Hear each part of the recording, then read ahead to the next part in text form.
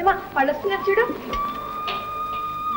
అమ్మా! వాళ్ళకి వచ్చావా తల్లి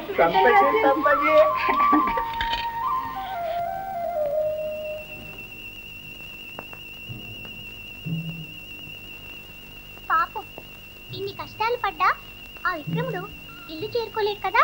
ఎందుకు? రెండు గండాలున్నాయి. ఇక్కడే కొద్దిసేపట్లో ఆ మంటపు స్తంభం మీద పడి మరణిస్తాడు. మరి ఆ ఆపద తప్పితే? అతని భార్య నాగకన్య. ప్రసవించిన నాటి రాత్రి కర్కోటకుడు బిడ్డని ఆ రాకుమారుణ్ణి కాటేసి చంపుతాడు. అదిగో విద్యాపతి మన మాటలు వింటున్నాడు. మన వల్ల ఈ జాతక రహస్యాలు విన్నట్లు ఎవరితోనైనా ఎప్పుడైనా ఈ విద్యాపతి చెప్పాడో తల పగిలి చేస్తాడు.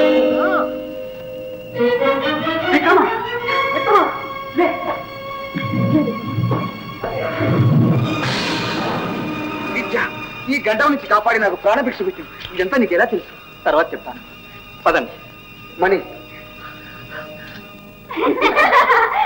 రేపనేది నేడే నిజం తినండి. త్రాగండి.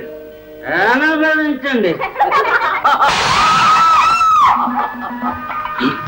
ఎవరు నువ్వు?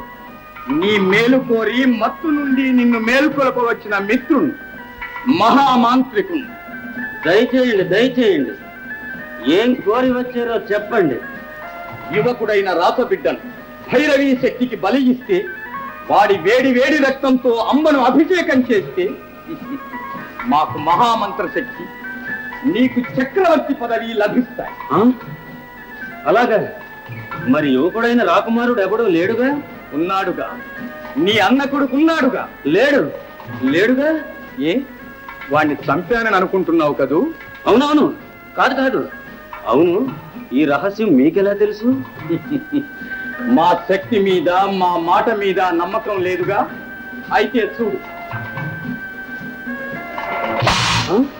కనకైంది కాదు కాపాలిక. ఏమే? ఆనాడు మీ ఇద్దరూ కలిసి ఆ రాసబిడ్డను మట్టు పెట్టామన్నారుగా గుడ్డివాళ్ళు మీరు కానీ ఆ మహారాణి కాదు. ఆ పసివాడు పెద్దవాడై ఈనాడు మన మీదికే వస్తున్నాడు. ఆ? నా మీదకి వస్తున్నాడా? ఎక్కడ?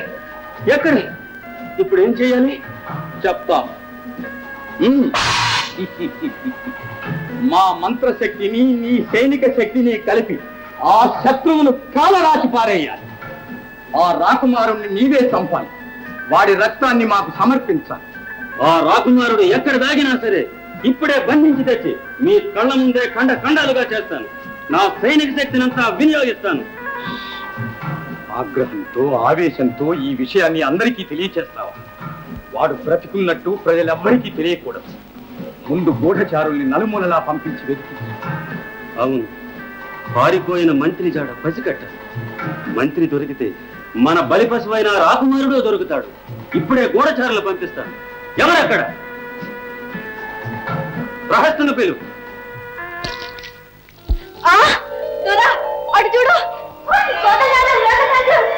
అమ్మా అమ్మా. అమ్మా. అమ్మా. మీరు కోరిన విధంగా నాగమణిని తెచ్చాను ఈమె నాగరాజ కుమార్తె మణిమాల. అమ్మా ఆమె పేదరాశి పెద్దమ్మ. అమ్మా అమ్మా ఆమె మన విద్యాపతి ప్రియురాలు. ఏమండి? మన కొడుకులిద్దరూ కోడళ్ళను కూడా తీసుకువచ్చారు. విక్రమ మాతృమూర్తి అయిన మహారాణికి నాగమణి ప్రభావం వల్ల చూపు రాగానే నయనానందకరంగా కొడుకుని కోడల్ని ఓహ్ మనుమణ్ణి కూడా చూపించగల మహద్భాగ్యం లభించింది ఇక చూడు అన్న రాజ్యాన్ని అపహరించి నా రెండవ ప్రతికందును తన ఖడ్గానికి ఎర చేసిన ఆ రుద్రసింహుణ్ణి వాడి రక్తంతోనే ఈ మానవరాజ్య మహామాత్యుని ఖడ్గం విందు చేసుకోబోతున్నది. వీరవిహారం చేయబోతుంది నేను మాళవ మహీపతి కుమారుణ్ణి. మీరు మా అమాత్య శేఖరుల.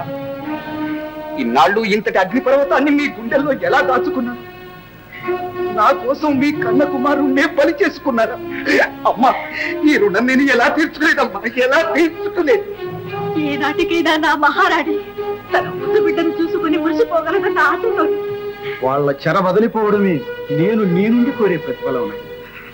నా తల్లి అంధురాలై పడి ఉండగా నా తండ్రి బంధితుడై పడరాని పాటలు పడుతూ ఉండడు నేనిక్కడ వినోదంతో విలాసంగా బ్రతుకుతున్నాను. ముందు నా తల్లిదండ్రుల చెర విడిపించి ఆ రుద్రసింహుని భద్రకాళికి బలి చేస్తాను. అప్పుడు గాని నా ఆత్మకు శాంతి ఉంది. అమ్మా పదండి కదలండి. నెమ్మదిగా నడువమ్మా మిత్రమా మణిమాల ప్రసరించబోతోంది ఆ తరువాతనే బయలుదేరదాం. అవును నాయన.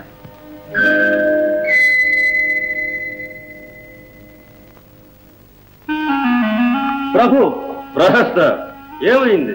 ఏముంది? పాత మంత్రి మన పక్కలో బల్యమయ్యాడు శత్రురాజ్య సరిహద్దుల్లో ఉన్న మల్లుధరాల్ని కూడగట్టుకొని మన మీదకి రాబోతున్నాడు. కన్నబిడ్డను బలి ఇచ్చి మీ అన్న కుమారుడు పెంచాడట. మనపై పగ సాధించాలని చూస్తున్నాడు ప్రభు. అవును ప్రభు స్వయంగా చూశాను. అయితే దగ్గరికి ఇక్కడికి వస్తాడు కానీ వాణ్ణి ఇంతవరకు రానివ్వకుండా ఆ అడవిలోనే అతి రహస్యంగా అంతమొందించి పంతం తీర్చుకుంటా. ప్రహస్త సైన్యం ఆయత్నం చేయి. సైన్యమంతా బయలుదేరితే ప్రజలందరికీ తెలిసిపోతుంది. కొద్ది మంది యోధులు మాత్రం చాలు. వారి తల తెగవేయటానికి నేను ఒక్కనే చాలు. ఈ అవకాశం నే పోగొట్టుకుంటానా పదండి. మహారాణి. మహారాణి. ఏం జరిగింది? యువరాజు మంత్రి కుటీరంలో ఉన్నాడని తెలిసి ఈ దుర్మార్గులు యుద్ధానికి వెళ్ళారమ్మా. అయ్యో నా బిడ్డకి ఆపద వస్తుందో? ఈ హంతకులు ఎంతకైనా తెగిస్తారు. నన్ను అక్కడికి తీసుకుపో వీరమల్లు. ఎలాగైనా తొందరగా నా బిడ్డను కలుసుకునేలా చేయ వీరమల్లు. రండమ్మా